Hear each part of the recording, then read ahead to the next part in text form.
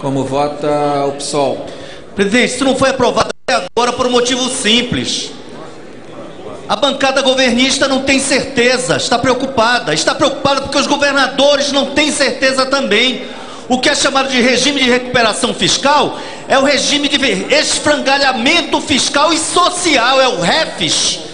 Então, não é admissível que se debata que não se debata e se aprove atabalhoadamente. É necessário discutir artigo por artigo. É um direito do parlamento e é um direito dos cidadãos brasileiros, porque é muito complexa a lei.